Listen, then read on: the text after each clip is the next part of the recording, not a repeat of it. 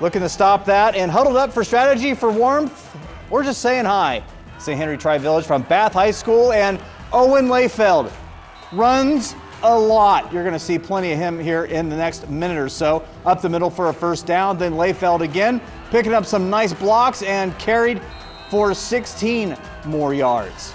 Then going to try the other side. Lefeld off tackle, drags defenders down inside the 10. A couple plays later, then Lefeld dragging all three villages into the end zone.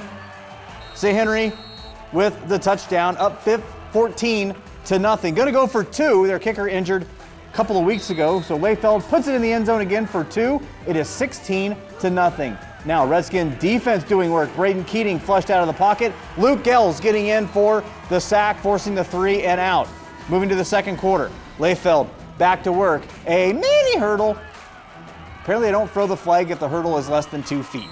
He picks up 12 yards on that play there. Or maybe they just didn't see it. That's also possible. Bryce Brookhart now. He's going to give Lefeld a spell. Keeps it, gets up the middle. And then, a few plays later, James Lang on the jet sweep. Going to get in for the touchdown, but you see the flag come down at the very end. Holding. This one's called back, so no touchdown.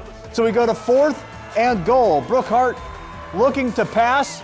And Keating right there for Tri Village coming up with the interception. St. Henry would have two touchdowns wiped because of penalties in the first half, but ultimately it matters not. St. Henry advancing 34 to nothing. They get the shutout victory over Tri Village.